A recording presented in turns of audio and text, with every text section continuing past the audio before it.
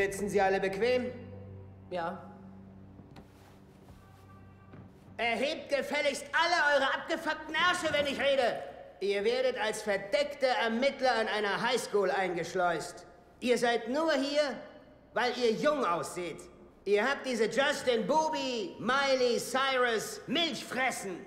Captain Frechdachs. Ich weiß, was ihr denkt. Ein zorniger, schwarzer Captain. Das ist doch nichts weiter als ein dämliches Klischee. Tja, Überraschung, ihr Vollpfosten. Ich bin schwarz. Und ich habe mir den Arsch aufgerissen, um Captain zu werden. Und manchmal werde ich zornig. Und ich stehe dazu. Was ich euch damit sagen will, benutzt diese Klischees. Der junge Mann hier zum Beispiel, gut aussehend. Und wahrscheinlich ist er brunstdumm. Und dann der hier. Er ist klein und unsicher. Und wahrscheinlich kennt er sich mit Geld aus. Hey, du kennst dich mit Geld aus.